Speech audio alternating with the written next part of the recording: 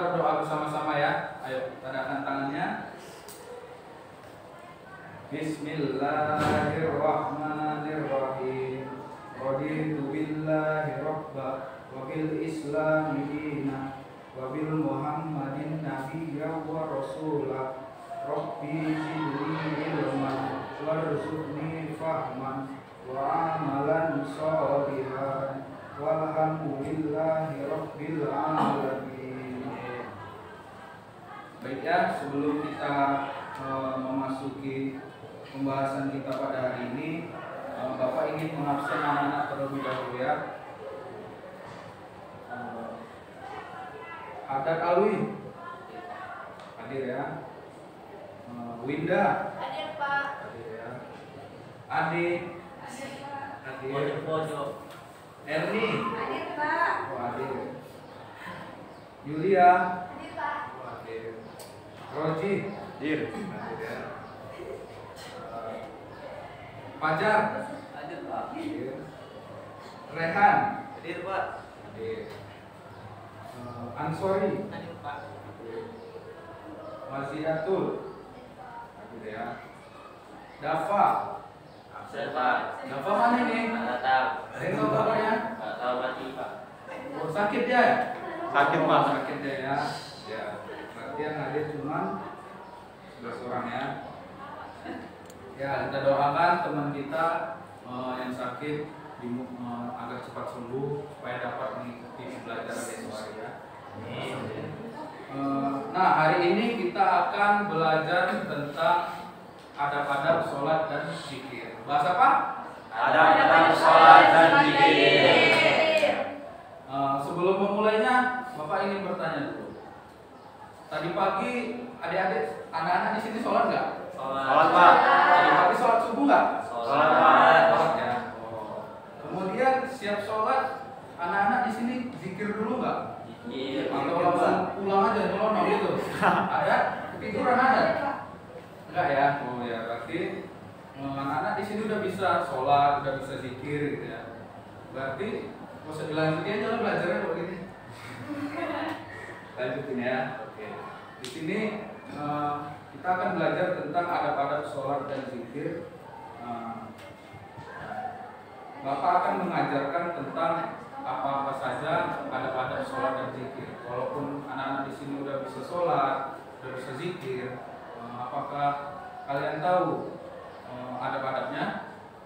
Ayo, bingung kan? Bingung kan? Nah, makanya dengarkan Bapak hari ini mengajarkan kepada kalian tentang adab-adab. Eh,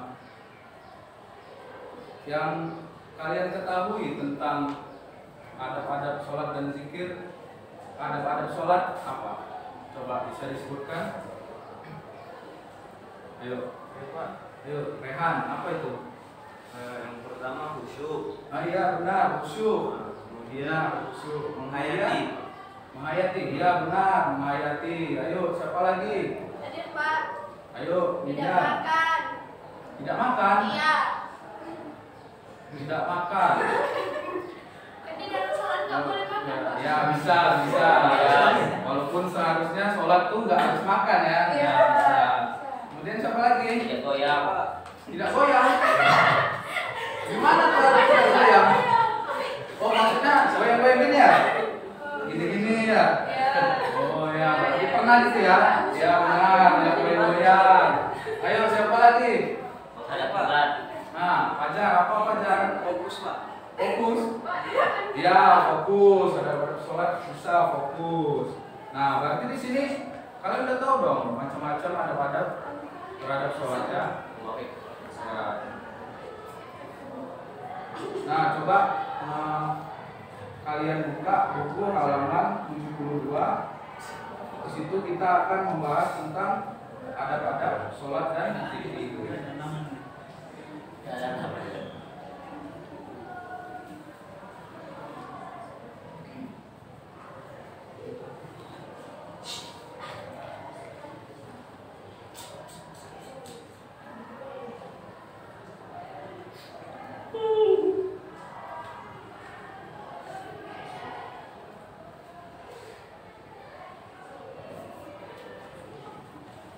ya siapa bisa baca yang pertama? Coba eh, Linda bacain yang pertama. Apa yang pertama? Ada badan zikir ya Pak? Sholat. Pada sholat. Oh ada badan sholat. Yang pertama itu khusyuk. Sholat tepat. Waktu. Oh, sholat tepat Sholat tepat waktu. waktu.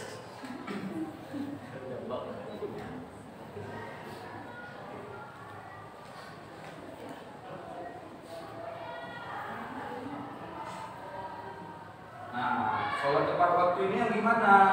Yaitu ketika azan telah berkumandang, kita harus eh, segera melaksanakan sholat. Kita langsung bergegas menuju ke tempat sholat, masjid atau musola. Ketika kita sholat itu eh, kita harus berangkatnya dengan semangat, ya semangat dengan yang eh, senang gitu. Tapi bukan yang semangat lompat sana lompat sini gitu ya, nggak barbar. Semangatnya yang eh, senang gitu, hatinya bergembira ketika mendengarkan suara azan, hatinya senang ketika ingin melaksanakan sholat. Nah, yang kedua coba bisa dibacakan lagi saudari Winda. Yang kedua itu membersihkan tempat sholat. Nah, ya membersihkan Tempat sholat. sholat.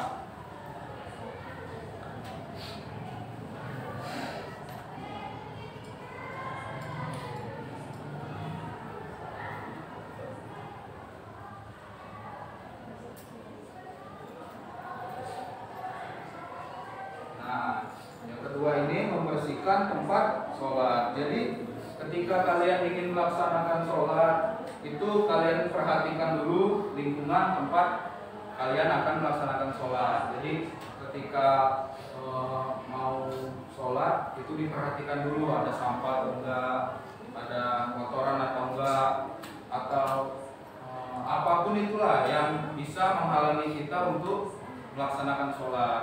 Kenapa kita harus membersihkan tempat sholat? Supaya kita akan e, melakukan sholat itu dengan khusyuk, dengan nyaman, ya. Paham? Apa? Nah, yang ketiga coba bacakan Rehan.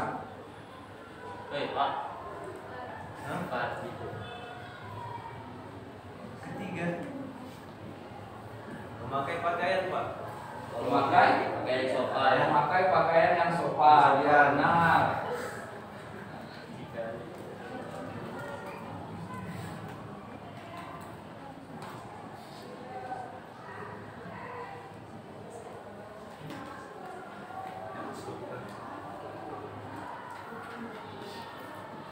Memakai pakaian yang sopan. Jadi eh, selanjutnya ada yang selanjutnya ketika ingin melaksanakan sholat itu harus memakai pakaian yang sopan. Nah, jadi yang laki-laki bisa pakai kemeja, kaos, ya. Tapi kaosnya jangan yang kaos lebong ya. Jangan ada yang gambar-gambar juga. Kenapa ada gambarnya? Karena nanti bakal mengganggu orang lain yang sedang beribadah. Nah, kemudian bisa pakai yang celana panjang gitu. Tapi jangan panjang juga ya. Jangan jangan terlalu pendek juga ya. Nah, yang menutup aurat. Eh di sini siapa yang tahu aurat laki-laki dari mana sampai mana? Dari pusat sampai lutut. Ya benar, dari pusat sampai Lutut. lutut. Nah, yang perempuan gitu juga. Nah, yang buka yang atas tangan. perempuan gitu juga ya. Nah, harus menutupi auratnya. Aurat perempuan kecuali yang mana? Buka dan telapak tangan. Wajah dan Telapak tangan. Wah, dan kayaknya tahu nih, lebih tahu dia ya. Wajah dan telapak tangan. Jadi ketika sholat eh, pakai mukena perempuan juga harus yang rapi ya. Eh, yang rambutnya nggak boleh nampak-nampak ya. Lengannya perhatikan jangan sampai terbuka ya. Iya Pak. Nah, udah paham ya? Paham, Pak. Kemudian eh, Fajar coba bacakan keempat. Baik, Jan. Fokus, ya benar, fokus.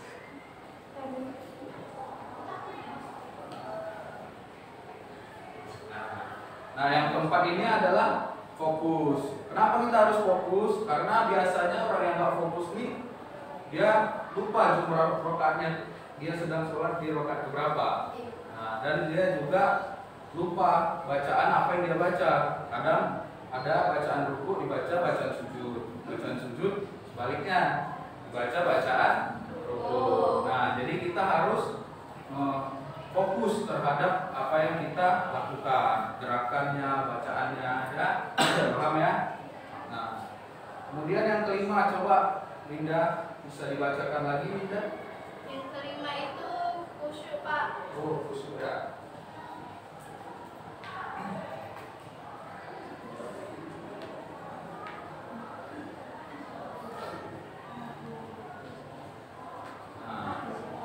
Kelima yaitu khusyuk. Nah, setelah kita melaksanakan eh, empat adab ini yaitu sholat tepat waktu, membersihkan tempat sholat, eh, memakai pakaian sopan dan fokus, itu kemudian kita akan mendapatkan yang terakhir yaitu kekhusyukan. Khusyuk ini eh, kata lain dari fokus ya. Fokus kalau fokus kan cuman pikiran kita aja yang yang tertanam dalam melaksanakan sholat itu. Nah, kalau khusyuk ini bukan hanya pikiran tetapi hati kita juga tertanam ketika melaksanakan sholat itu ya. Jadi ketika udah melaksanakan empat ini, insya Allah kita akan mendapatkan yang terakhir yaitu kehusukan ya. Sampai sini paham? Paham. Ya, selanjutnya kita akan membahas tentang adab berzikir.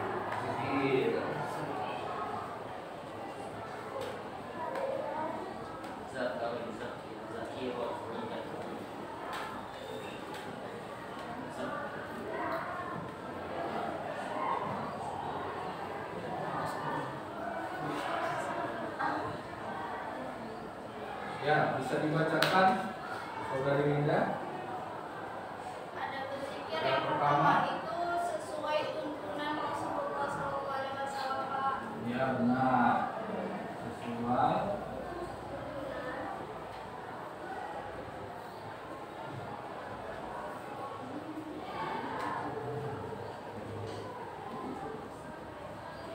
sesuai tuntunan Nabi kita Rasulullah Shallallahu Alaihi Wasallam. Jadi Rasulullah itu mengajarkan kita eh, setiap setiap setiap sholat itu harus duduk tenang terlebih dahulu ya. Eh, Anak-anak bisa melakukan eh, kegiatan berzikir yaitu beristighfar. Kalau kalau yang anak-anak nggak bisa yang panjang-panjang bisa eh, membaca kalimat thayyibah ya. Dan bisa juga membaca tahmid, ta- tahlil sama takhir. Kalau nggak bisa juga anak-anak bisa membaca Al-Quran. Nah, membaca Al-Quran itu setiap sholat termasuk ke dalam berzikir juga ya. ya. Kemudian yang kedua coba membaca Rehan. Harus Saya ada bacaan yang kedua. Kedua Pak. memahami atau khusyuk Nah, memahami atau khusyuk khusyuk ya. Nah, jadi ketika kita berzikir itu kita harus memahami apa yang kita baca gitu. Jangan sementara kalian udah hafal eh, bacaannya itu kalian cuma sebut-sebut aja gitu, tapi nggak memahami apa makna zikir itu ya tidak khusyuk ya dalam dalam melaksanakan zikir itu. Jadi eh, kalau eh, kalian ingin berzikir, kalian harus juga memahami apa arti zikir tersebut ya. Nah, yang ketiga coba bacakan adat, adat sekarang. ada suara Apa ada suara Ya.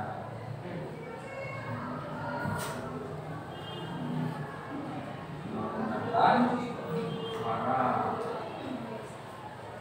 Nah, yang ketiga ini nah, merendahkan suara.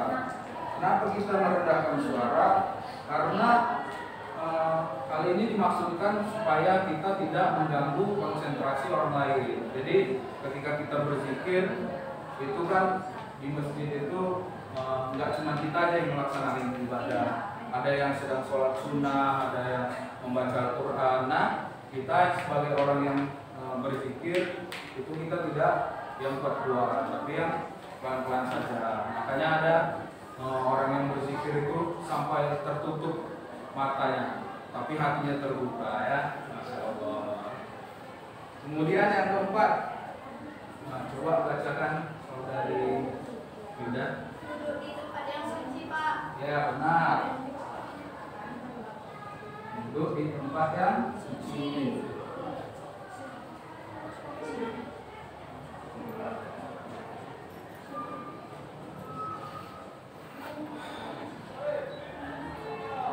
Nah, sama ketika kita melaksanakan sholat tadi itu harus memperhatikan tempat lingkungan kita. Eh, jadi eh, setiap kita siap sholat pastinya tempat kita masih dalam keadaan yang bersih yang suci ya. Jadi eh, pastikan tidak ada kotoran, tidak tidak ada sampah, tidak ada bau yang hmm, menyengat gitu. Karena apa? Karena bisa mengganggu kita ketika melaksanakan berzikir ya. Kalau kita berzikir ada bau yang tidak enak kan eh, kita tidak jadi eh, memahami, tidak jadi khusyuk dalam melaksanakan zikir. Kemudian eh, bisa dibacakan yang terakhir Rehan. Rehan bisa dibacakan yang terakhir. Ikhlas Pak. Ya, ikhlas.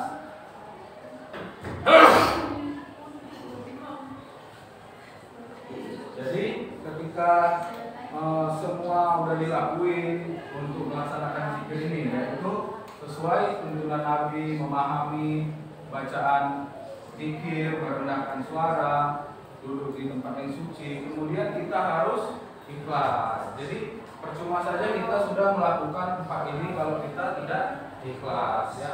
Jadi ketika berzikir eh, walaupun udah memahami udah udah sesuai tuntunan Nabi kita yang terakhir harus ikhlas. Ikhlas terhadap mengucapkan kalimat-kalimat atau kalimat-kalimat yang mengingatkan kita kepada Allah Subhanahu wa taala.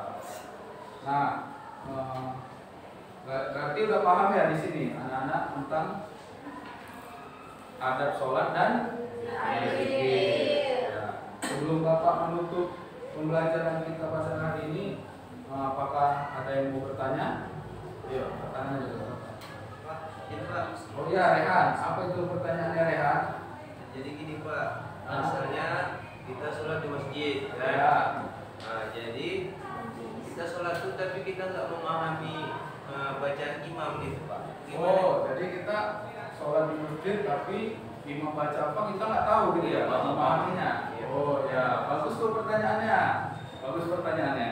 Nah, jadi ketika nah, Bapak ingin jawab ya. Jadi ketika kita melaksanakan sholat di masjid, imam membacakan surah yang kita nggak tahu ya artinya apa, ayat yang kita nggak tahu ya artinya itu kita harus tetap fokus, tetap khusyuk. Nggak boleh kita eh, sementara nggak paham, kita lihat kanan kiri. Nah itu jadi batal sholatnya ya. Jadi ketika ketika eh, jadi ketika ketika sholat kita tidak memahami apa yang dibaca imam itu kita tetap harus fokus tetap mengikuti imam eh, gerakannya bacaannya dan sebagainya